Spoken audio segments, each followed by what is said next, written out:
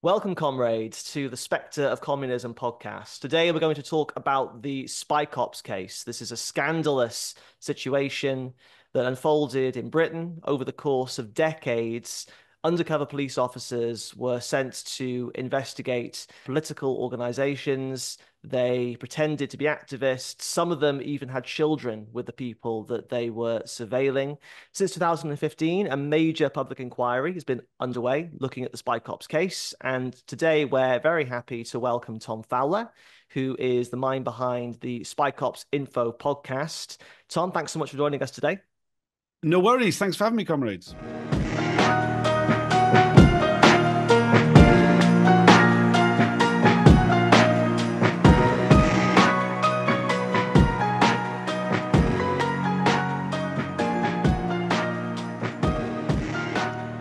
So Tom has been attending basically every second of the public inquiry. Is that right?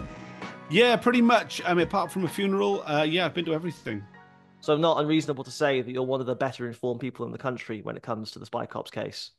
Yeah, I mean, I, I, I know more than's good for my sanity. Um, I work very closely with the Undercover Research Group. Um, I would say they probably uh, they probably a better handle on it than me because they read all the disclosure. Um, there's a huge, huge amount of detail. Um, huge numbers of PDF files are released by the inquiry. Pretty usually, I mean, like at first it was like at the same time as they interviewed somebody. Now they're very behind, and it sometimes it takes a while for the documents to come out. But you know, for every for every witness that they uh, they question, there's literally hundreds of documents that are released as well. So, um, right. Yeah. I mean, I've got an overview of it. I don't read everything. I, I mean, I, I, find it crazy that some people manage to do that, but there's a lot of lawyers and a lot of uh, researchers who are following this who do really do that. Well, I mean, I've been listening to some of the episodes of the Spy Cops Info podcast, which I recommend, and I'll put a link in the description to this episode where people can go have a listen to their preferred platform. I mean, we did cover this case on our British website, uh, nowcommunist.red, um, when it was in the news. And we also covered the related practice of blacklisting, which we'll talk about as well. Um, it's just such a sickening, sickening case. I mean, the human impact, the lives ruined, and just the cold hearted and dirty tactics of the British state really exposed, and also the collusion to the highest levels. We'll get into all of that. But before we do, I'm going to introduce my other guest, who you'll recognize if you've watched previous episodes of the Spectre of Communism podcast. It's Jorge Martin, who is a member of the editorial team for Marxist.com and also a member of the International Secretariat of the Revolutionary Communist International. So, Jorge, thank you so much for joining us once again. Yeah, thank, um, uh, thank you for having me, and uh, I'm, I'm very interested in, in hearing what uh, more about this case. Yeah, yeah, and uh, Jorge also has some interesting um, direct connections to, or I should say, some interesting anecdotes about people associated with the Spy Cops case, which he'll get into later on. But Tom, I'm going to start with you first. Um, possibly this is an international show, and not everybody listening will be from Britain, even though this news did get around the world. Could you give everyone a quick update, a quick refresher on the details of this case, what actually happened, and why is it so scandalous? Yeah, sure. So, um, I mean, firstly, I would say that you know the state has you know the state uses many different forms of repression, and the use of undercover officers is a very long-standing old practice. But when we're talking about um, spy cops as a as a concept, generally we're talking about two units uh, the Special Demonstration Squad and the National Public Order Intelligence Unit, both Metropolitan Police units. Uh, the SDS um, were uh, founded in 1969, um, sorry, 68, uh, following the um, uh, supposedly because the police lost control of an anti-Vietnam War demonstration that happened in the March of that year. Um, famously, the, uh, the, the crowds almost got inside the U.S. embassy, um, and there was supposedly i mean I, you might find out i'm couching a lot of the things when i when i give the history of the unit there's a lot of supposeds and allegeds because we are dealing with professional liars um, and they've created their own mythology uh, around how the unit operates. But we kind of get the impression that you know it, it, there's a certain truth to it. The, the unit was set up in the aftermath of, of that demonstration and it was initially tasked with disrupting the movement um, to the point where the october national demonstration that was planned would not be a public order incident in the right. same way as the first one was So mm-hmm. supposedly that's why the unit is formed. But very quickly, um, once that's achieved, the unit doesn't disband, um, as some of the officers involved in it expect it to, and it carries on, uh, and it becomes a an instrument being used by a British Special Branch. So these are the already the political police um, to target uh, anybody really on the left. Um, they start off after this the Vietnam anti-Vietnam War, War movement, then it's the uh, anti-apartheid movement, uh, anti-racists. Um, pretty much anybody on the left was mobilizing. Uh, I mean, some actually who aren't even mobilizing. I mean, they targeted uh, groups like the Independent Labour Party, um, who, you know, I mean, may have attended the occasional demonstration, but certainly were never yeah. involved. Not, in not particularly radical or uh, particularly left wing in the grand scheme of things. I mean, no, really not. I mean, it, there's a very low bar. I mean, some of the um, so I mean, for example, they, they, one of the early groups they infiltrated was uh, the Women's Liberation Front, and I mean, I don't think there's anything that even the most liberal person would disagree with in the program of the Women's Liberation Front. They were demanding that women should have like bank accounts. Mm. and that rape within marriage should be illegal. Um, you know, these incredibly uh, low level of, uh, of a bar for who got infiltrated. Can I ask as well? Was there a comparable level of state interference, uh, infiltration, repression of right wing groups, far right groups like the National Front, and this sort of thing? I mean, absolutely not. I mean, completely missing. Uh, during the beginning of the first uh, tranche of the inquiry uh, covering the 1970s, we heard a lot of evidence from former undercover officers who had infiltrated left wing groups and anti racist groups. And th- that was put to them. You know, uh, there was no officers infiltrating the far right during the 70s. Um, why was that? And they were very clear about it. The National Front were not a problem. Um, right. the, the National Front were uh, communicating with the police about their plans for demonstrations. It was the anti-racists who were right. attacking them that were the right. problem. As far so, as so, so basically, the left were the threat and the right were the snitches. right. I mean, at the end of the day, you know, like from the from the political point of view of the state, um, you know, fascists are a a useful tool, right? I mean, I don't think that they're loyalists. They believe in the Queen. They believe in Britain. You know, I mean, a lot of police officers were very sympathetic to them. Now, mm. very recently, we just we've been looking at the the 1980s uh, the inquiry, and we had uh, the first um, undercover officer who infiltrated the far right, uh, HN 56. Now, just to get just to sort of like just these undercover officers were sent in deployments for between four and five years. Mm. Um, they went deeply into target groups of active political campaigners and they infiltrated the very lives of the people that they were uh, infiltrating. They took the identities of a dead child to build their um, their legend, and then they would often engage in quite intimate long-term sexual relationships with women within those groups in order to ingratiate themselves with the rest of the group, build their legend, and be um, be able to access more information than they would otherwise. Right. Now, HN56 infiltrated the far right. He infiltrated a moribund group of the BNP uh, in somewhere in, in North London. I forget the name of the area. I'm not very good in London uh, geography. But uh, he was there for 10 months. The, the group was moribund. So he was just going along to a local pub where he knew that the members of the BNP happened to drink, where he read a copy of the Times. He went there three, four days a week and drank heavily, um, socialized with them a bit. He went yeah. to um, one meeting uh, attended one Rights for Whites march, and then withdrew. Um, he claimed he withdrew early. Um, he withdrew immediately. He didn't have the. They, they, had a very complex withdrawal method, which was very similar. I can get onto that later if you like. Sure. Um, he withdrew almost uh, just on, on a whim. Uh, he said he was terrified that other uh, members of the SDS were going to um, expose his deployment because so many other uh, police officers were supportive of the politics of the BNP and didn't think it was right that there was an undercover officer in them. But his his infiltration was so shallow, so shallow. I mean, I've, I've seen his reports. There's very few of them. I mean, there's like three month gaps between his reports. Most of these officers were were putting in two reports a week. Um, he was leaving like two three month gaps. In his reports, they could have been gleaned just from reading the British nationalist newspaper. Um, there was a little bit of gossip, but you know, very, very, you know, he chat, he's blatantly just chatting to some guys in a pub. He's clearly terrified going on the Rights for Whites march. Um, that that obviously had some, I think, had some sort of impact on his early withdrawal. But he's very concerned about the other officers being on his side. It it, it seems clear that there's obviously been some direction um, to the SDS management that they needed to infiltrate the far right um, just for some sort of tick box exercise. So they sent someone in. I mean, interestingly, this officer, somebody who had come in to uh, the police later in life, uh, which was quite unusual. Most of these, most of the SDS officers are career coppers who join the special branch and then get recruited into the special demonstration squad. He was slightly different, and it just seemed like, oh, we'll just get this guy, we'll send him into the BNP, it'll be fine. He won't actually do much. Um, right.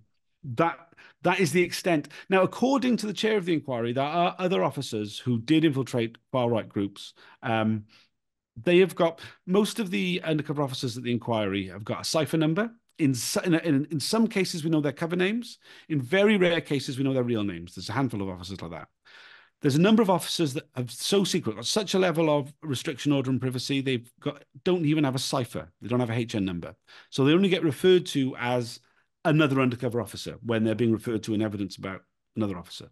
So supposedly there um, it was one particular undercover officer who was uh, in the far right who had scared HN56 to the point where he withdrew. So supposedly there was some other infiltration, but we haven't heard anything about it yet we can only assume that it's going to be at a similar level of what HN56 did, but we don't right. know. But the reality is the vast majority of the groups infiltrated were left wing groups, political activist groups, anti racist groups, and trade unions. Um, what were some of the groups that suffered from the most intensive surveillance? I mean, it's a mixture. Um, I mean, like when you talk about most intensive surveillance, um, I mean, the, the, the, the, the single organization who had the most infiltration was the Socialist Workers' Party uh, well, the International Socialists, then the Socialist Workers' Party. Um, partially that's because of the size and the longevity of the organization, um, but also I think I, th- I, think one of the important things we we all uh, political activists should take from what we've learned about the spy cops is one of the reasons why the SWP was so heavily targeted was because of their use of lists.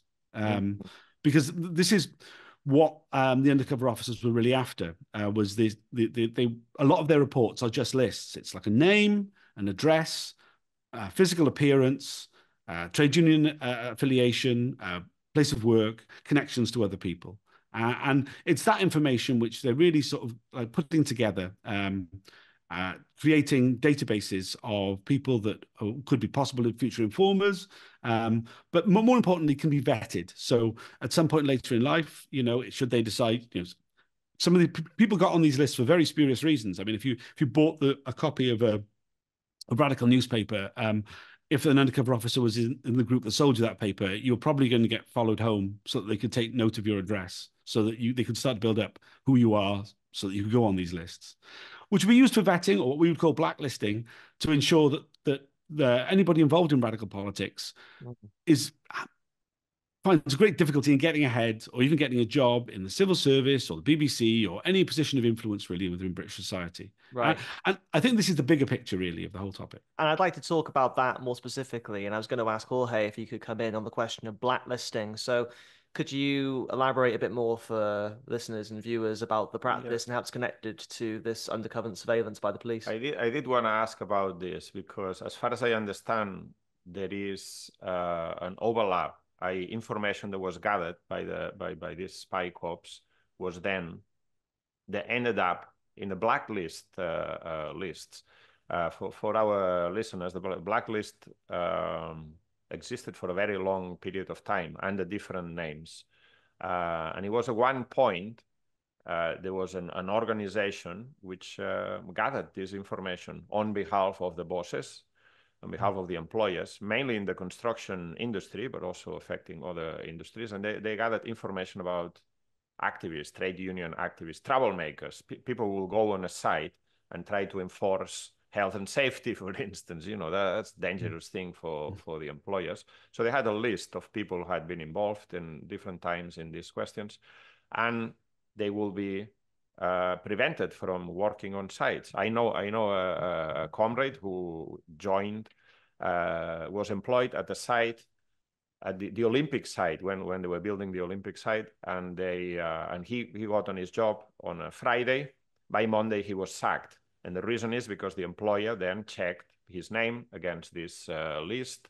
Uh, th this was a whole organization. the employers paid a subscription to this uh, organization gathering information, and they paid also a fee for every uh, uh, inquiry they made about one single uh, individual.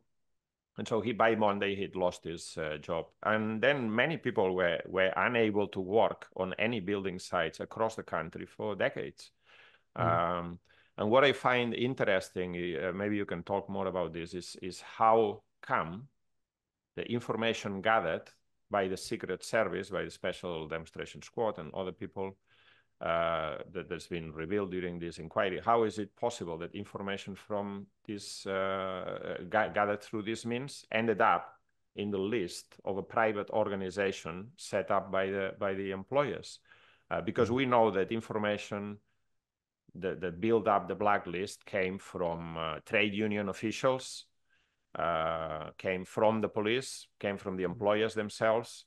Um, but but this this should be technically illegal, isn't it? I mean, the, the, the police gathering information for themselves, not necessarily technically to, to pass it on to the employers, is it? Yeah, Tom, yeah absolutely. Uh, the Consulting Association and its predecessor, the Economic League, which are the organizations you're talking about, absolutely had a, an incredibly close um, relationship with uh, the police. Um, we, have uh, seen construction workers who were blacklisted when once they once they found their files. Um, there's a really good book by um, Dave Smith, uh, the Blacklist, um, well worth reading, which kind of explains how they managed to get some of those files. And I'm, i mean, really, the, the, reason why the construction industry is, is so well known for this, though it been there've been whispers of a of the blacklist on building sites for years. I mean, partially because the casualized nature of of the construction industry, um, it is a lot easier for employers to chuck people off jobs uh, quite easily. Um, but so they've been talked about for years. But from what we can tell, it just seems like this is the one that just got exposed. Um, when the Consulting Association was raided, they took one um, one filing cabinet, which included the construction blacklist. I mean, there was a whole office of, of cabinets.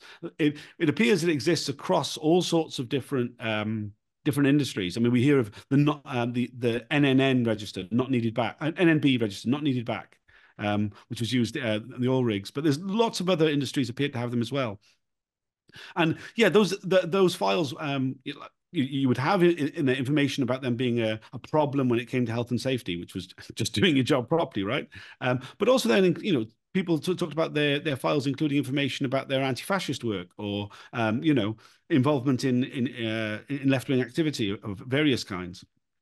But it just appears that you know there was a quid a quid pro quo um, relationship between Special Branch and the likes of the Consulting Association and the Economic League, where they were passing information back and forth that they found useful. Um, you know when we um when we look at what like kind of who really like who runs these units um it as much as it, there is a there's a human hierarchy of course it's the registry registry files um which are the, are the basically the, the, the secret files that the, the, state has on every has on people that they think are of interest, and you know the, the special branch are looking in any way possible to add to those registry files. So that would include talking to private businesses like the Consulting Association who maintain these databases. Basically, if you had a list of a database that the special branch was interested in you, if you're on the left, you're getting infiltrated so they can steal that database if you're uh, you know if you're a, corporation or something well they know there's a business relationship they can have with you about it Mm.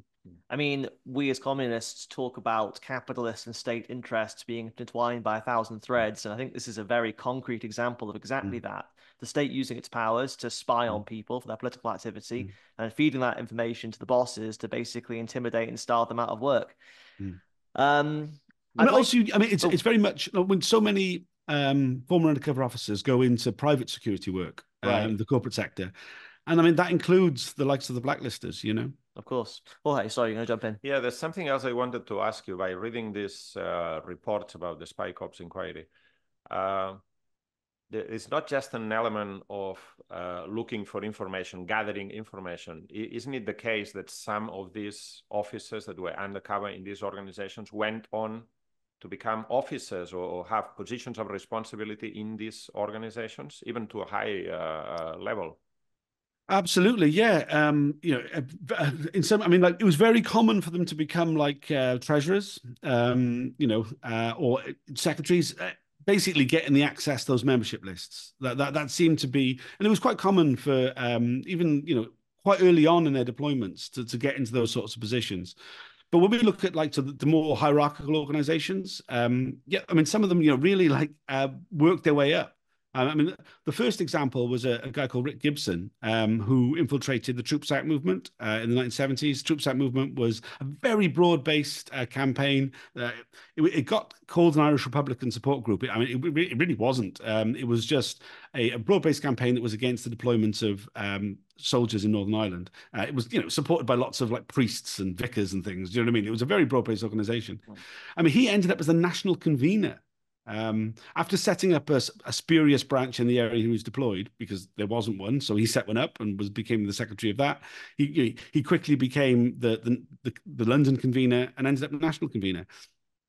You know, essentially, you've got an entire campaign being run by special branch, yeah, which. Right.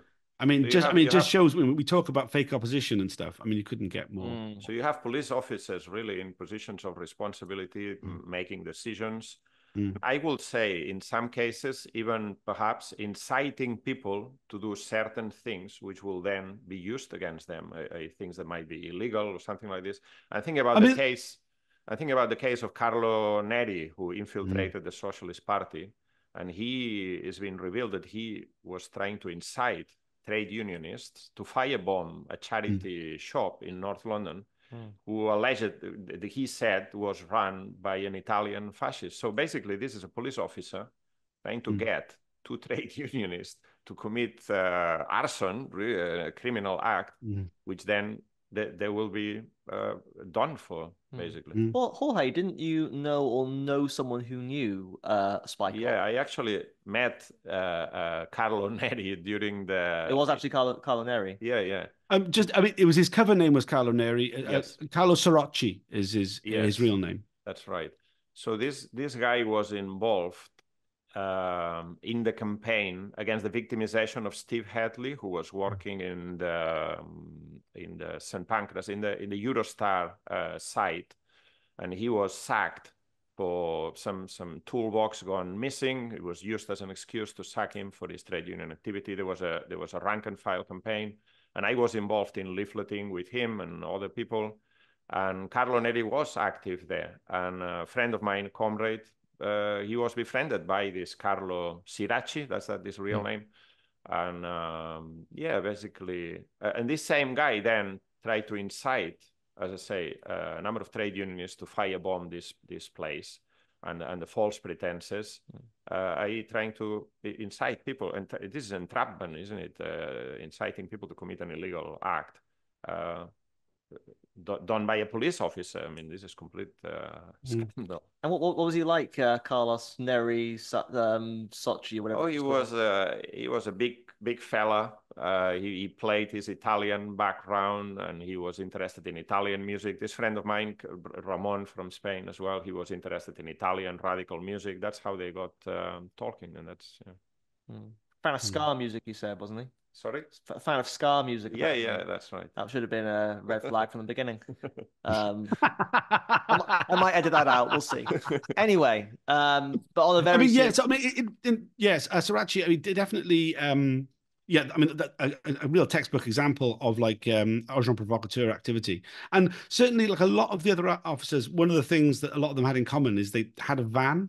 They, yeah, they happened right. to own a van, or yeah. uh, or a large vehicle that they yeah. were willing to drive people around. Very with. helpful. Very helpful. Very helpful. Very uh, essential, really, to a lot of small groups, particularly uh, direct action groups.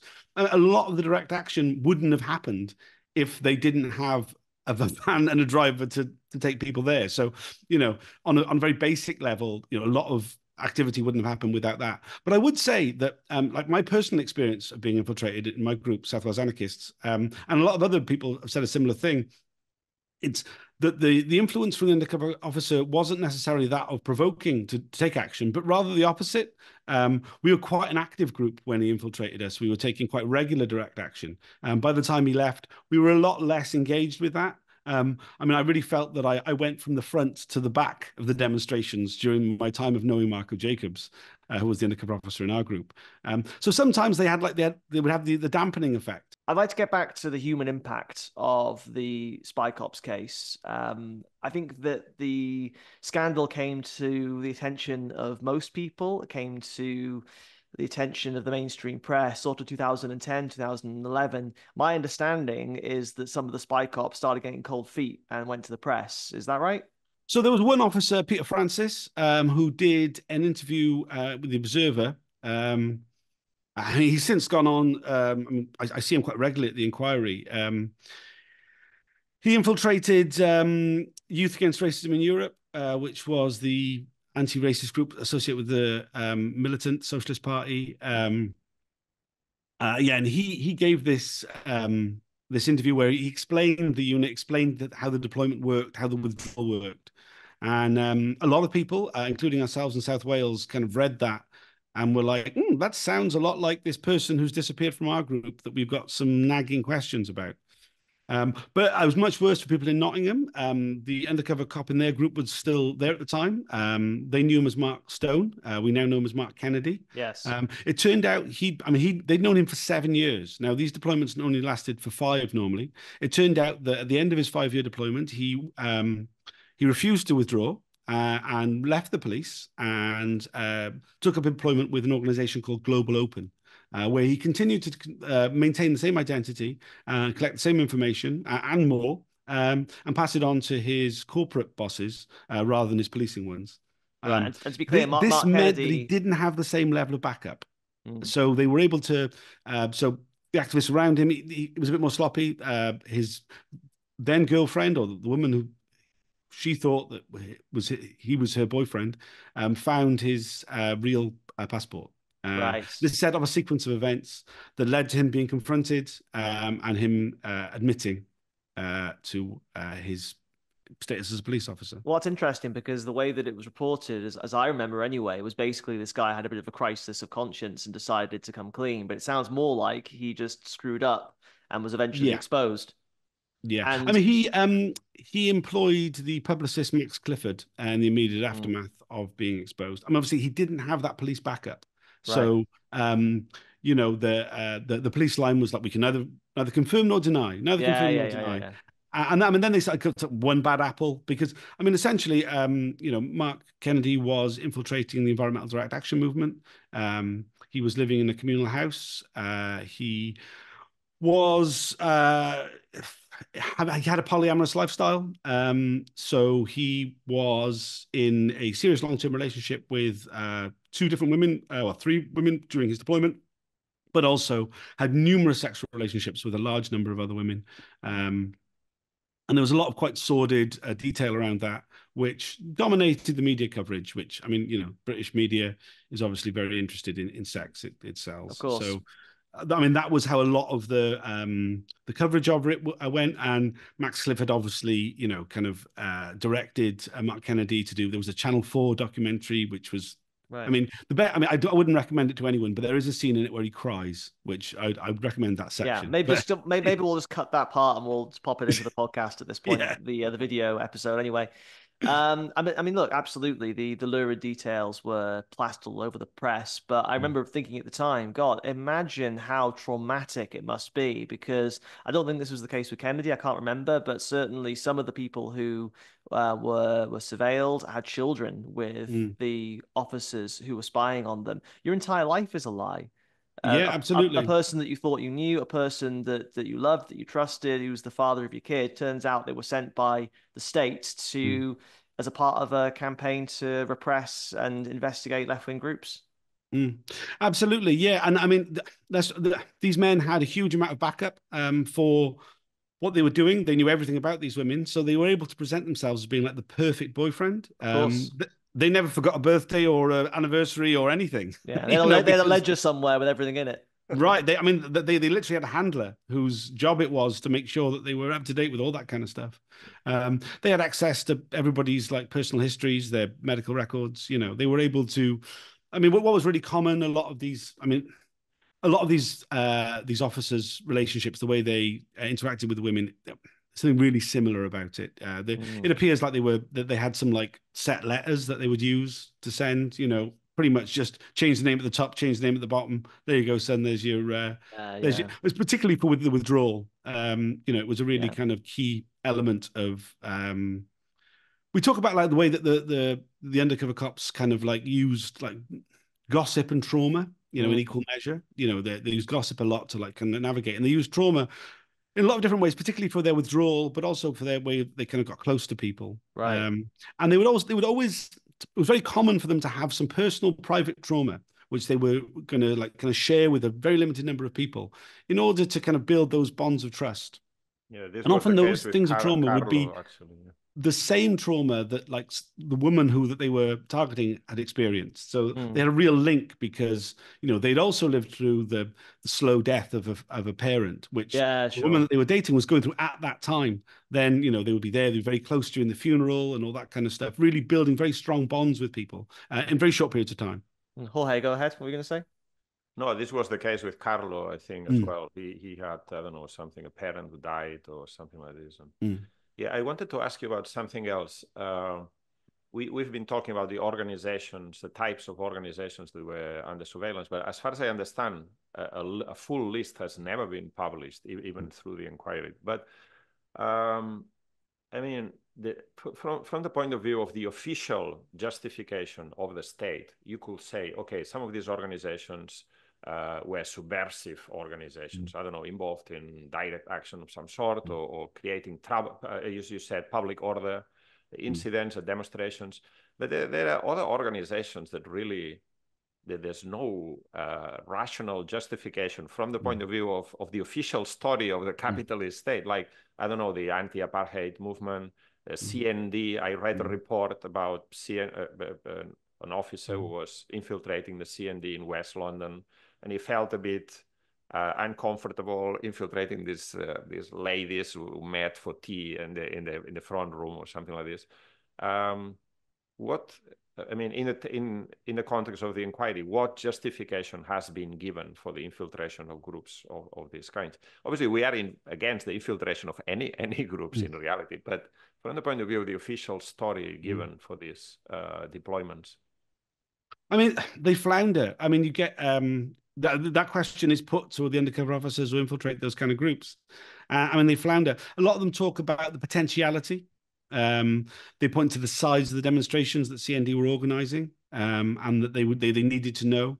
Um, but also, there's there is like a just a fantastical thing with it. You know what I mean? They they come up with some right nonsense like, oh, you might think they're like that, but they're not really. You know, I mean, you you you get that from some former undercover officers. Um, I've also I've also read some of the reports, and they they seem very mundane. You know, like so and so from the Hackney branch of the SWP is now going out with so and so from the Tottenham branch, or I don't know. Mm-hmm. I've seen a report of a of a meeting by Workers' Power at Conway Hall, and I'm thinking I've been to many meetings at Conway Hall, you know, and and this officer says, okay, well then the Spartacist League came in and they weren't they were prevented from speaking. It's just really silly reports. Is, isn't that a case uh, or an element that the Special Demonstration Squad started these deployments and then it kind of took a life of, of its own that they had to justify uh, the continuation of this from which they got wages and obviously I'm, I'm guessing overtime and, and payment, blah, blah, blah, ju- just to try to justify the continuation of these deployments when uh, uh, it, it didn't really serve much of a useful purpose for, for the state, perhaps. Before Tom comes back on that, just just just quickly, uh, and I, I want to hear what you have to say on that. But that reminds me of something that I read in the first tranche of the um, findings of the inquiry, which only goes up to the 1980s, and the top line is is essentially exactly that. They're offering nothing useful nothing Mm. that's materially useful to security to the maintenance of law and order is coming out of this unit. It should have been wrapped up well before it actually was the interim report suggests that the unit should have been uh, uh, shut after the October demonstration of the Vietnam Solidarity Campaign uh, in the first year. You know, it, shouldn't have lasted a full year. I mean, that's that's Sir John Mitting's uh, assertion. Absolutely, it took on a life of its own. Um, I would take issue though with the idea that it's not useful to the state because, as you say, by their own sort of means, you know, they're not fulfilling their terms of reference of you know preventing public disorder and uh, countering subversion. The, to, to, to, my way of looking at it, the, the, the, two big issues, the two big things that they are use, always useful to the state for, is building these lists for vetting, for blacklisting, to mm. prevent people getting into places of influence within British society, so that we have this, we, we continue this rightward skewing of all aspects of public life in Britain. And, and secondly, it's about disruption and undermining. I mean, the vast majority of the groups that these undercover officers infiltrated fell apart eventually, um, either because of the covert policing or other overt policing methods. Mm. Um, we know that the just from the overt policing, we know that the police are willing to go to great lengths to intimidate and bully people out of taking part in political action. Sometimes that takes you know the place of just you know beating people up on demonstrations and things, which has happened many times over the years and stops people from wanting to go to demonstrations or just the intimidating atmosphere they create. But the the existence of these undercover officers in the group goes beyond what's in the reports. Um, it's about the role they played within those groups, uh, which was often very, very disruptive. Um, often, like, it not necessarily immediately uh, obvious that they were the ones being disruptive. Often, it was other people you think were being disruptive. But the atmosphere they created, the, the, the little things they did, had a huge impact on the success of those groups going forward. You know. Mm. I want to take us forward to the beginning of the inquiry hmm. because mm. it was launched under a Tory administration. I believe yeah. it was called by Theresa May in 2000, yeah, it was, yeah. 2015 what was and assuming we don't have to persuade each other that the Tory government didn't have the best interests of the public at heart. They weren't launching this because they actually cared about justice for the victims. Mm. So, what was the motivation of the British state in beginning the inquiry at this time? I mean, it's interesting. I mean, I think like um, there was something about the you know when the Lawrence, it, it, turned out the Lawrence family campaign was infiltrated. Uh, that that gave another another layer of um, weight uh, to the demands of people who've been affected, well, the victims of the spy cops. Um, I mean, their box office. I mean, and certainly Theresa May announced the inquiry after she came out of a meeting with Doreen Lawrence. Mm-hmm. Um, now, I don't believe it was because of that either. I mean, what was also happening at the time, um, I mean, you may remember that uh, she was the first Home Secretary to get booed at a police federation conference.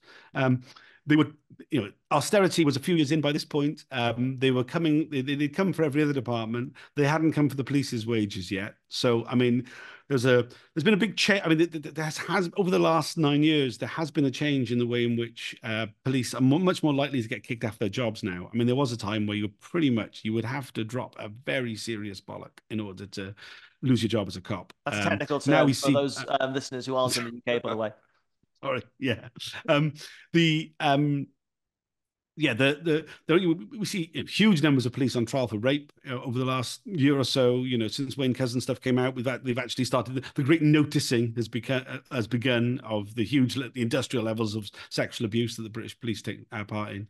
Um, and I, I, think you know during that time period, you know there was a number of uh, public inquiries called. Um, I think it was an instrument. I think I think the state kind of likes it because at the end of the day, it is about kicking it into the long grass. You know, um, these these processes take an incredibly large amount of time, and we just had the Grenfell inquiry report. That was seven years.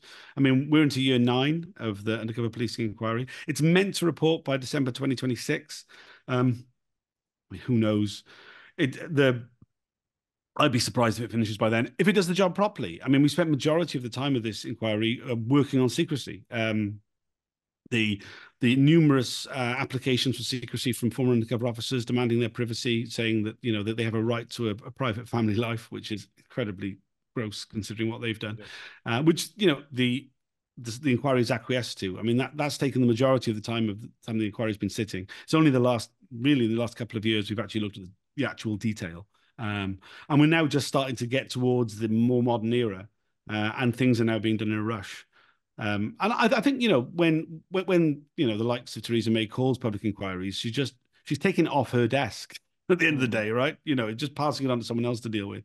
And I mean, it it is quite. I mean, I, I never believed we would get this level of disclosure about this, you know, about this these units and what the cops were actually up to, and it is very illuminating, but it is very historic. Um, as we get closer, there's there's more and more secrecy. Um, the inquiries, you know, terms of reference end in uh, 2010, I think. Uh, it's you know, I mean, I think as much as it was like a shock that they called this, I, I don't think it does any great harm to the British state, the fact that it exists necessarily. Mm-hmm. So we have a new government, the mm. glorious Labour administration of mm. Sir Keir Starmer, Knight of the Realm.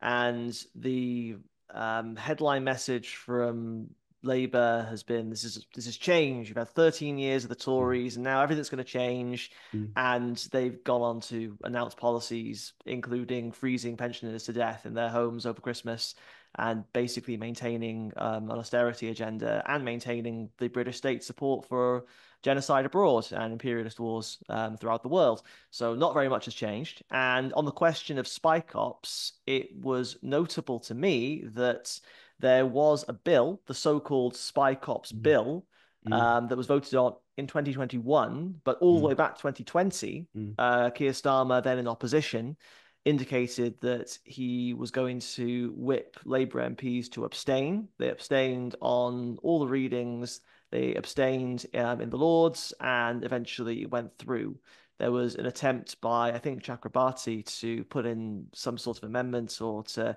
introduce some clauses that would prevent um, officers from getting immunity um, for committing crimes, basically, in the course of their surveillance. Mm. And that was also shot down when Labour abstained. So it's very clear that Keir Starmer, who we should also say in another life was Director of Public Prosecutions. So mm.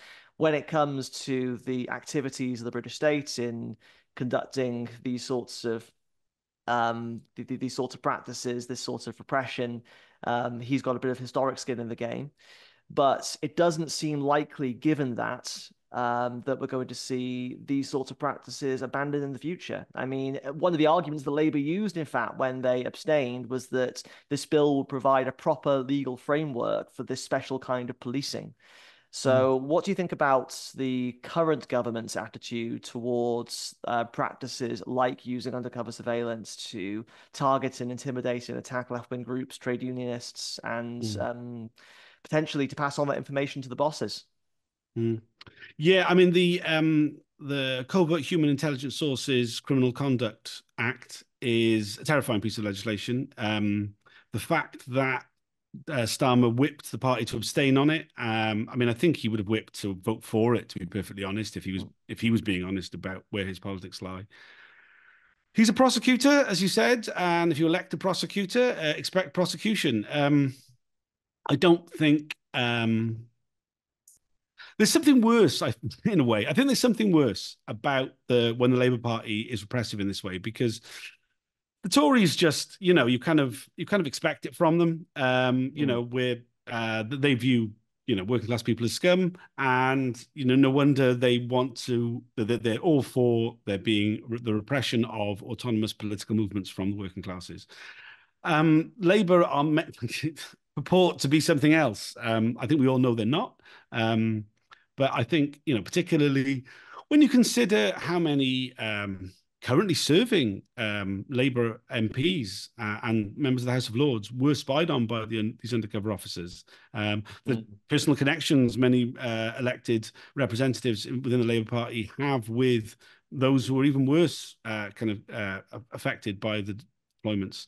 Um, it just shows that you know a level the level of cruelty, I guess, we, we, should we should come to expect as a hallmark of Starmer's premiership. Really, um, the yeah the the the, the Act um, provides a framework for agents of the state, which includes police officers, but also could include any kind of uh, informant, really, uh, anybody who's designated as an agent, which generally means career criminals. Um, I mean, there's some horrific examples of the use of criminal um, criminals to uh, by uh, police in order to crack supposed get to supposed other criminals, but in the course of which doing just some horrific activity.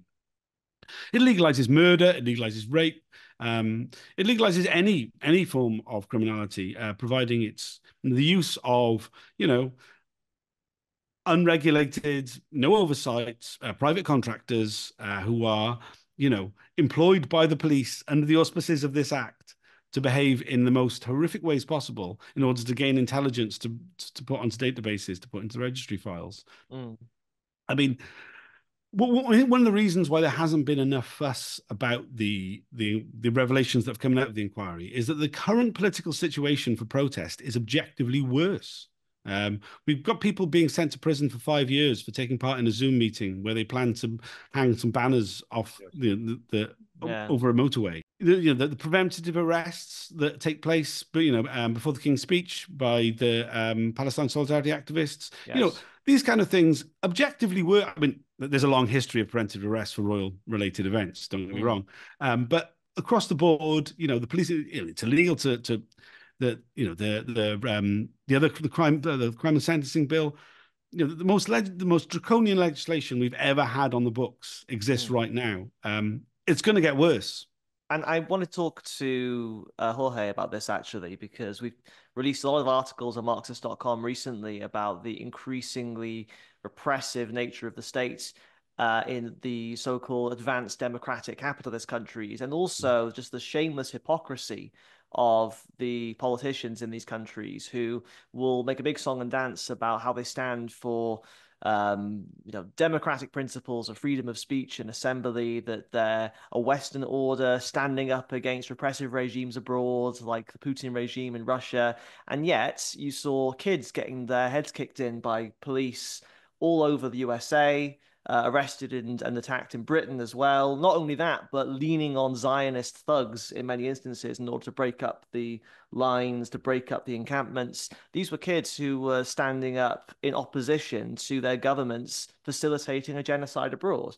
I mean, I can't think of a better use of freedom of speech if the institution has any value at all, uh, other than perhaps agitating for revolution, of course. And they were beaten up by the police and Zionist goons who they were collaborating with. So um, what do we say, uh, Jorge, as communists, as Marxists, about the increasingly repressive nature of the state in this period, and why is it getting worse? I, I will say that one turning point in all of this has been the Palestine uh, protest. Definitely, in the last few few months or the last ne nearly a year now, there's been a complete assault on uh, on freedom of speech, freedom of assembly, freedom of protest in a whole number of countries in France, at the beginning, they wanted to ban all demonstrations in solidarity with uh, Gaza. In uh, Germany, there's been heavy-handed uh, policing of any any attempt to demonstrate in solidarity with Gaza. In Austria, some of our own comrades have been investigated by the state prosecutor on, on issues of national security for raising the slogan of Intifada until victory. So it just shows you how I will say in this particular case, it shows you how important is for imperialist powers their support to Israel. This question of Israel, the support for imperialism abroad, and so on, is, is a crucial question for them. And I think that this goes a little bit to answer uh, a question about the spy cops in, inquiry, because you, you might you may ask well, why why were they investigating the anti-apartheid movement or the troops out uh, movement? Well, there's a the very good reason. It's not that these people were causing public order uh, problems or that they were subversives in any in any serious way, but rather that that they were subversives in as much as they were undermining or attacking one of the pillars of British imperialism, which which was support for troops in Northern Ireland, mm. uh, support for the apartheid regime in South Africa, and and so on. So I think that this is an important uh, question that to, to draw from all of this. Anyone, however democratic the ways that you use within the framework of, of the limits of bourgeois democracy, even if you, you attempt to have a, a legal demonstration, if, if they think that this legal demonstration is going against a fundamental pillar of, of the of the system, in this case imperialism, they will try to prevent it. And then if the mm. law doesn't allow them to do so, they, they'll change the law right. and they'll make the law more repressive in order to, to have a, so they will use legal and illegal uh, means to try to, uh, to try to prevent uh, from serious organizing and, and, uh, and, influencing public opinion and, and so on on issues that they, they, they think are, are, crucial for them. Do you think another part of it also is that the crisis of capitalism is intensifying? We're deep into the so-called cost of living crisis. Um, there's been an uptick in, in protest, in trade union activity in the last period. There's more crisis on the horizon. The capitalists know this. Starmer and co know they have to carry out austerity in order to rebalance the books, as they would put it, in order to basically protect the boss's profits at the expense of all of us. When the Crime and Sentencing Act was passed, it felt very clear to me that this was basically future proofing by the capitalists, by, by, by the British state. They were preparing for the battles of the future. They were sharpening the mm. state's weapons because they anticipate more pushback, more um, class struggle in the future. Yeah, I will say that's the case, and not not only in Britain is is an international uh, phenomenon. Uh, not, not, only the rise of right-wing populism, but the, but the strengthening of the power of the state to intervene, to to the as you say, sharpening the the tools. Uh, incidentally, in in Spain, in the last two or three years, there has been a number of revelations about spy cops, uh, police officers infiltrating left-wing social movements, and many of them also establishing pers- long-term, personal, mm. intimate mm. sexual relationships with the people they were investigating. So I think that in in Spain, people will be looking at what's coming out of this uh, inquiry. Mm. Yeah, I mean, I, I recently visited uh, last year. Visited Barcelona and met with a number of the people who've been affected by the deployment of undercover officers in Spain. I mean, I would say, um, if anything, it's much worse.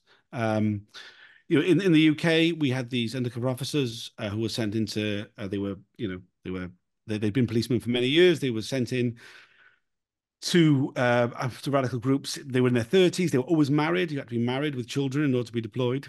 Um, in Spain, they're sending in um, graduates straight out of police college. Yes. Um, straight. I mean, in some cases, these people are having their first serious relationship, and it's a deployment. Um, they're they're living full time. Uh, the the British undercover cops would, would, would kind of would go home. They would go home in between. They would have time on shift, time out. Um, you were saying earlier about how well you know with the overtime and stuff. These you know the the British SDS officers were some of the most well paid uh, police officers in Britain because they were they were getting overtime for sleeping up until the late eighties when they changed the rules. Yeah, but I mean, in in Spain, these officers are living full time in their identities, completely full time. I mean, the, the, Maria who um, uh, infiltrated, uh, uh got into a long term. Uh, intimate relationship with a member of a radical um, Catalan uh, Republican group. Um, you know, she lived with him for three years. She had the same Instagram that she'd had as a teenager uh, as her Instagram when she was un- deployed undercover. And since she's been exposed, um, she still uses it now. I mean, the, the the the the blurred lines between her personal life and her as a as an undercover officer just seem completely completely uh, blurred. Um, you know, the the, the number of these officers they were using like uh, social dating apps they were using like OkCupid uh, to and I mean you can plot the relationships the one officer was having. Just basically was trying to have one with every an anarchist in every area hmm. of Barcelona um, a real industrial scale. Um, and yeah incredibly horrific using the same sort of uh, a lot of the same tactics. Um, I mean, we've just what is particularly scary is they've just unmasked another uh, undercover officer uh, who was deployed into uh, in Madrid, um, and she was undeployed for over twenty years. Which again, another scale to what we've seen in the UK. She, and there's a lot more to come. There's a lot more to come. She was deployed in a group that was uh, relatives of uh, mm. people who've been in, in prison, people who've been uh, harassed by the police, and so on. And she pretended to be a, a middle-aged mom as well, mm. also mm. looking after the, the, children and stuff like that. And she was, yeah, she was involved for 20 yeah. years. And now that she's been uncovered in her social media, she's come out as a as a far right activist, uh, putting forward far right uh, ideas and and so on which which you obviously had all, all along, as well as being a police uh, officer. So mm. yeah, you see capitalist states throughout the world utilizing the same sorts of methods. Yeah. Um, this has been a really fascinating discussion, and mm. I hate to bring it to a close, but I did want to ask Tom, what do you see coming out of this, if anything? I mean, I think when we see, I mean, I, I, I strangely, you'll be shocked to hear I don't really believe in British justice. No way. So you know, I'm not I'm not expecting. I mean, I think the most we could have ever expected from the final report I was covered in the interim report. You know, the unit should have been shut down in its early days. I mean, like, yeah, great. That you know, that that's as much as they're ever going to give us. Um, I think the, the the, the things we learned from it um, come from disclosure, and it comes not just from the individual detail, but also the bigger picture of looking at all the stuff that they've released. It's it's about knowing what they're after and I think you know it's it's important to us as political activists to, to learn the lessons. And I think there's two major lessons that we need to learn. I mean, one is about the way in which that they that they're after the lists. You know, they're building lists. It's about the vetting, uh, and about being cute about how we we deal with that. but I mean, secondly, I think uh, what's really important is is countering the the way they used gossip and the way that they kind of created internal infighting within groups. I mean, the last set of hearings we heard about a fourth child born um, from uh, the undercover deployments. I mean, I think it's it's a, it's definitely um, a worthwhile endeavor to follow the, the, the hearings. I mean, I, I, would say that I've been doing it for, since the beginning, and before that, I was doing civil cases. I've been, I've been covering this topic for 14 years now, but um, I think that the inquiry itself is is a is a shambles. But uh, um, it's it's massively over budget. It's massively uh, behind schedule. Um, it's doing everything in a rush. Um, there will be, uh, you know, the, the, next set of hearings is due to start in three weeks' time. We've only got the timetable for the first week because they haven't finalized the rest of the hearings. Um, because it's the 30th of September. Is that correct? Yeah, first. Um, so it starts with a week of opening statements. Um, and then uh, from the, the, week of the 7th of October, we'll start hearing from undercover officers. Um, we'll be hearing from HN 122 Neil Richardson, who infiltrated um, class war, uh, which I was a member of, uh, and the Revolutionary Communist Party. Um, we'll be hearing from a number of people who were uh, targeted by him, and then we'll be hearing from people uh, who were targeted by Bob Lambert, who will be giving evidence a bit later on. Mm. Um, Bob Lambert, uh, one of the most senior members of the of the, of the unit, went on to lead the unit, uh, wrote the tradecraft manual or an early version of it. Um, had four relationships whilst deployed, including fathering one child. Uh, he went on to set up the Muslim um, contact unit, uh, became an academic, um, was one of the authors of the Prevent strategy. People are aware of that, which is yep. the de-radicalization of Muslims. Um, there's an unbroken line really in his career. Uh, a lot of the officers um, who who deployed around the same time went on to the same things as him. I mean, a lot of them won't be giving evidence because they've left the country. John Dines um, is teaching police ethics in Australia. fantastic. I mean, you know, it's one of the most uh, appalling, appalling human beings. I mean, we will get to see his his statements. The inquiry will be read out. Um, you know, just horrific. Uh, he was in a long term relationship with uh, Helen Steel, who was one of the McLibel Two. Um, to be honest, if, if, his classes are just a case of if you do the exact opposite of everything I've done in the course of my career, then uh, it'll be the closest possible thing to ethical policing. Right. Yeah. I mean, basically, yeah. That, I mean, what, uh, what's more chilling is that it's not going to be that, is it? It's no. going to be like how to get away with doing the most terrible, terrible things. Of course. Uh, I mean, we see that. You know, a number of the um, we heard from Trevor Morris at the last set of hearings. I mean, he set up special branch Baghdad. Um, you know, I mean, there's there, there's photos of them with what appear to be death squads in all sorts of theaters around the world. Mm. You know, mm. these these officers went on to have very very successful careers in security industries as well as in the, within the police and security services. Uh, some of them ended up at MI6, some of them ended up in Qatar and all, all around the world. Um, you know, uh, directing how other police forces uh, operate. Um, yeah, I mean, just exposing that, I think is, is worthwhile. I don't think we're going to get any satisfaction. I don't think the end of the inquiry will mean the end of anything, really. Um, you know, I remember before we had the inquiry called, we were, you know, as activists, we were meeting about it. And we had a little conference thing. And we had some people come over from the Pat Finucane Centre in Northern Ireland, uh, who had worked quite heavily on the Bloody Sunday um, inquiries uh, following that you know, people have been affected by it. And I mean, they said the best thing that came out of a public inquiry for you is another public inquiry, and the best thing that came out of that is another public inquiry. And when you're about three or four public inquiries in, you might start getting to some serious truth.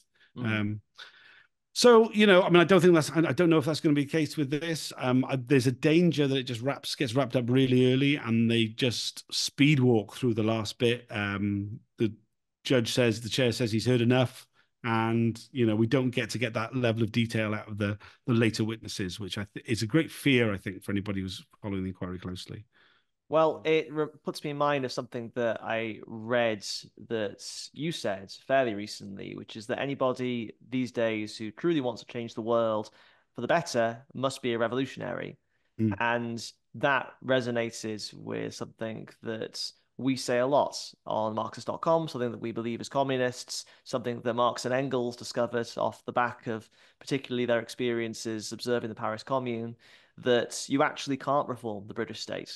You can't reform any bourgeois state. It's an institution, it's an apparatus designed to represent and to enforce the interests of the economically dominant class. All you can do is smash it. You can smash it up. No, I, I wanted to say back back about the inquiry. What's going to come out of this? I, I, I share your your view that uh, not much is going to come out of it. It's, it's not designed to to do anything like that. It's just just designed to fob off people. Say, okay, there's an inquiry. Blah blah blah. We're going to talk about this.